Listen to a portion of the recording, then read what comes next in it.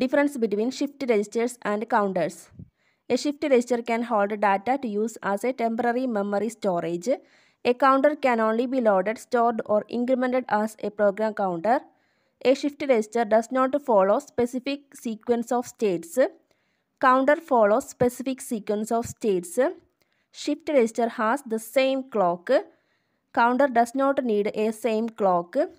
Shift register shifts the data left or right. A counter count the clock pulses. Shift register uses D flip-flop whereas a counter uses T flip-flop and JK flip-flop. All register is not counter. All counter is register.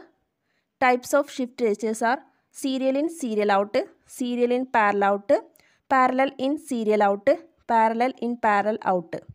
And types of counters are asynchronous and synchronous counters.